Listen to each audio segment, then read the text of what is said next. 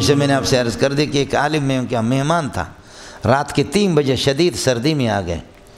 मैं नमाज़ पढ़ रहा था तो दरवाज़ा बंद था, लेकिन कुंडा लगा हुआ नहीं था। अंदर आकर के मेरी चारपाई भी बैठ गए। मैंने नमाज़ से फारग हो गया। कहने लगे कि बेटा बेटा, इस वक्त अल्लाह की ज़ात जाग रही है और आप है मैं हूँ। मैं नमाज़ के लिए उठाऊँ, सारे हमारे मदरसे वाले, तलबा इस मेरे घर वाले सब सो रहे। आप जाग रहे, मैं जाग रहा हूँ, खुदा की ज़ात जाग रही है। मैंने कहा, जी अबू जी। कह लगे कि, बेटा, एक चीज़ आपको बताऊँ, सफ़ेद कपड़े पहना करो। आलिम होकर के ख़त्म बुखारियाँ भी कराते हो ालिम रंगीन कपड़े पहनते हो। इसलिए उसके बाद मैंने सफ़ेद कपड़े शुरू अभी हज के मौके पर गया तो मैंने साथियों से कहा, एक दो जोड़े मेरे लिए यह कि सिलवा दो। इसलिए कि हज में सफ़ाई इतनी नहीं होती है, हज के मौके पर सफ़र में। तो इसलिए बाकी यह कि आम दिनों में तो कोई मसला नहीं है, सफ़ेद कपड़े। मैंने कहा, बाजी, ये हो गया।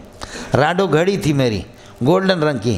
कहने लगे कि बेटा, ये घड़ी जो है ना, इसको बेचो, एक सादी सी घड़ी मुझे दे दी, ये ले लो।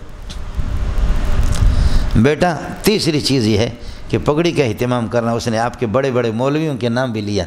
मैंने उनसे अपील भी की है कि पगड़ी पहना करो, लेकिन उन्होंने बात नहीं मानी है। और आप पग, मैंने कहा, इंशाल्लाह मैं पगड़ी पहनूँगा। मैं पगड़ी का अहतमाम करता हूँ, जलसों में, प्रोग्रामों में। अल्हम्दुलिल्लाह, उन्हीं की वजह से कपड़े भी मेरे बदल गए। तो कहने लगे कि फिर मैं आपको इजाज़त देता हूँ।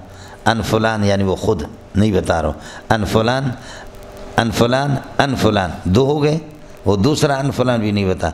तीसरा, अन अमर इबन मेमून अलजिन्नी अमर इबन मेमून अलजिन्नी अनी नबी सल्लल्लाहु अलैहि वसल्लम काल। ये तीन चार सनदों में मोहम्मद रसूलुल्लाह फरमाया कि बखुदा, मैंने इस सनद की इजाज़त अफ्रीका के एक दो बंदों को दी है, हज़रत बिनूरी रहमत को भी उन्होंने मेरे वालिद से इजाज़त दी है। इजाज़त ली है, मैं आपको इजाज़त दे रहा हूँ। ये इस बुनियाद पर आप इसका अहतमाम करेंगे। अगर अल्लाह ने सुन्नत के होते हुए आपको ज़ाय किया तो फिर मोली मंजूर पर लानत भेजना। और अगर सुन्नत के तारिक होकर के जलील हो गए तो फिर शैतान को मलामत करना, अपने आप को मलामत करना। फ़ला तलूमूनी वलूमू अनफुसकुम, मुझे मलामत न करो, अपने आप को मलामत करो। मान अभी मुशरक़ुम व मान तुम भी मुशरक़िया मैं तुम्हारी फरियाद रसी नहीं कर सकता, तुम मेरे नहीं कर सकते। मैंने आपकी गले में कभी रस्सी नहीं बांधी कि मोहम्मद को छोड़ो। कभी मैंने आपको खींचा नहीं, घसीटा नहीं कि खुदा को छोड़ो, किताबों को छोड़ो, डिस्को बनो। मैंने रस्सी नहीं बांधती हाँ इल्ला अंदाओ तो कुम दूर दूर से मैंने कहा सड़े दल तराशा। तुम लोगों ने फस्त जब तुम ली, तुमने जल्दी में मेरी बात मानी। खुदा को छोड़ दिया।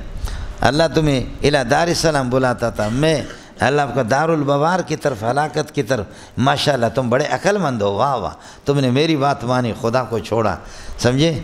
अल्लाह ताला नबियों को सवा लाख नबियों को भेजा, उनको तुमने रद्द कर दिया। और मेरे मजलूम की, मैं मजलूम शैतान हूँ। मेरी बात तुम लोगों ने मान ली, इसलिए साथ ही ख्याल कर लें। समझे?